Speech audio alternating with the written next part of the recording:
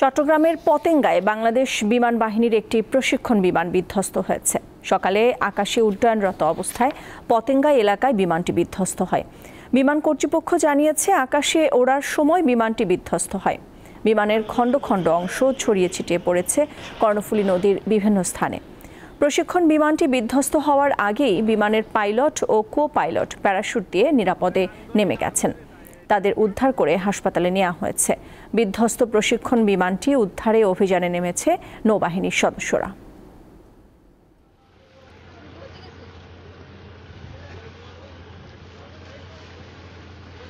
আল্লাহ হারাইছে।